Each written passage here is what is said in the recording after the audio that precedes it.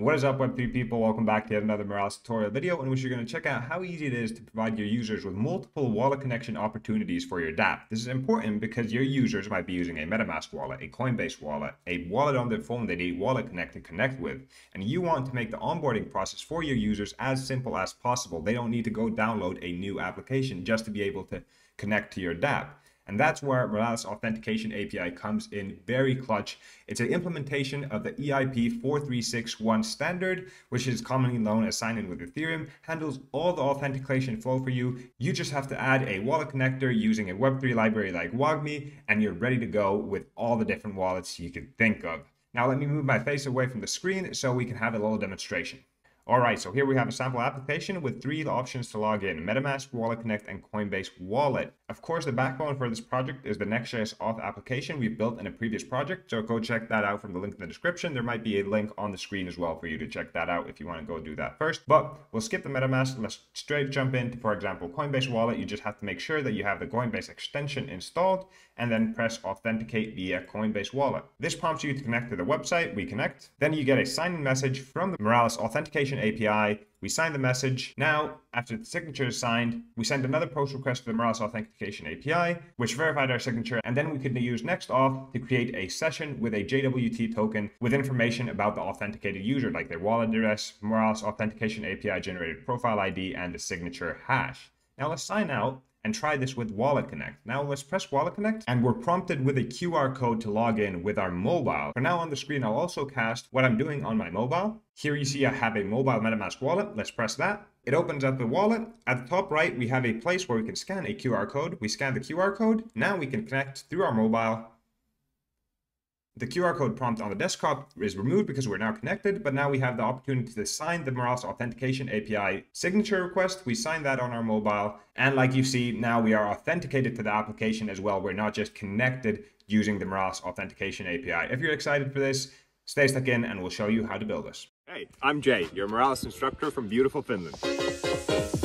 I got into crypto in 2020 and I've been building in the space ever since. In my free time, I enjoy running and at the gym, and in the summer, you'll definitely find me at the golf course. Now, let's get stuck in and learn about Web3.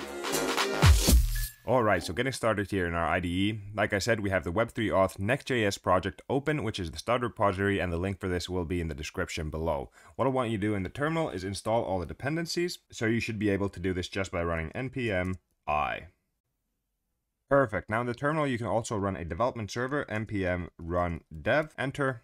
So now this project is compiled on localhost 3000 and we can take a look at it here soon. Now let's close the terminal and look at the repository before we go look at the website. Open up the pages folder, and here we see we have our front end, which is all the files outside the API folder, and then we have the back end in the API folder. So in the API folder, essentially have two endpoints. We have request message, which triggers the Moralis auth endpoint using the address and the chain ID that the user is trying to use to sign in. This, as a response, sends the client side a message for the user to sign. And then once we sign it, you on the client side, we send another post request over here to Moralis auth verify with the message we received from the first Moralis response and then the signature we signed on the client side. This then using next auth generates a user with that wallet address that was signed in, the profile ID that Moralis Authentication API generated, and the signature the user signed to be stored in a web session in a JWT token that can then be used to handle authenticated user states and display content. Now that's all you need to know on the backend side, but we have already gone through this in the Next.js project build, so go check that out if you haven't already. Now for the front end build, we have all the setup files, but we have the sign in user file. We'll be working in the signin.js file where we have a MetaMask connector brought in from the wonderful Wagmi Web3 library, which is basically what we use for all the client-side Web3 connection. We have this handle auth function over here where we use Wagmi to create a connection using MetaMask. Then, after we set that connection, we have the wallet address and the chain ID that's connected, and we can send a post request to the Moralis Authentication API. Once we receive that message, we can use Wagmi again to sign that message, and then send that final post request to Moralis Authentication Verify, and then use NextAuth.js to create that user token, which we can then push to the user's homepage. Now, all we have to do if we want to use different wallet providers, we have to bring them in from Wagmi. So we can bring in Coinbase Wallet and Wallet Connect over here, like so. So we bring Coinbase Wallet Connector and Wallet Connector. Now for our handle auth function, we need to know which wallet the user has selected to use. So we have to provide a parameter wall, and then we can create a conditional connect over here and set the user data above the connection, which we can then adjust after we've selected which connector we're going to use. And we're only going to provide the network in the user data object at the start. Then now here, if our wall is equal to, let's say, meta. We'll use the MetaMask connector like so. Let's format this a bit nicely. And now here we can set the user data, user data dot address to be equal to account that we destructure from the connection with Wagmi. Now we do the same thing for our chain ID, user data dot chain will be equal to the chain and the ID parameter from there. So now if we run the handle authentication function with the meta parameter, we're going to use the WAGMI MetaMask connector.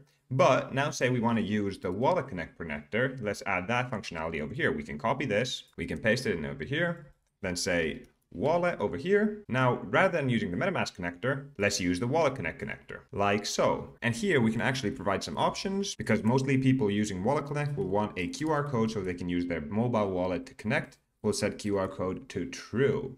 Now finally, we can add a Coinbase wallet conditional. So if the wall parameter is set to coin, say for example, we can use the Coinbase wallet connector. Here we don't have to provide the options, so let's get rid of those. And of course, the user data we already set in the conditional, so we don't have to set it down here. You already set the user data over at the top. The network will always be EVM because we're using Ethereum virtual machines. And then we set the address of the user who's connected and the chain ID they're using. Now, because we have these conditionals, we also have to set the option for the user to select which method they want to use. Currently, we only have one button and we don't take any parameters. This is authentication via MetaMask.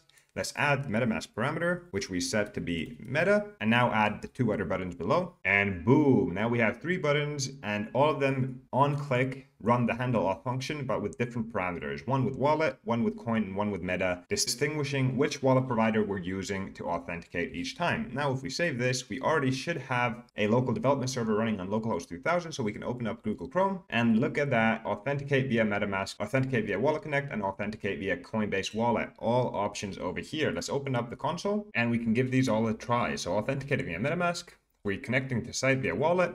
Let's connect. Now we're sending the connect account and chain ID to the Moralis Auth API, and then we automatically received a signature request from Moralis Auth API, which is dignified over here. We signed that, and there was a successful sign-in. We're automatically redirected to the user page. Now going ahead and signing out, we clear the console, and then let's try Coinbase Wallet, but you have to make sure that you have the extensions downloaded from the Google Chrome extension store. And now we press authenticate via Coinbase Wallet. We are asked to connect to site via wallet. We connect.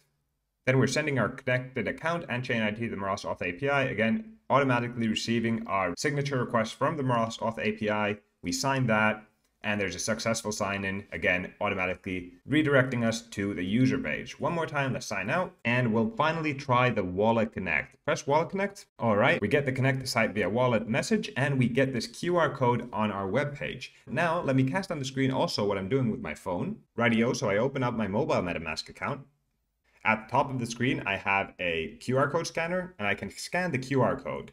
Now we're allowed to connect to the website. We connect.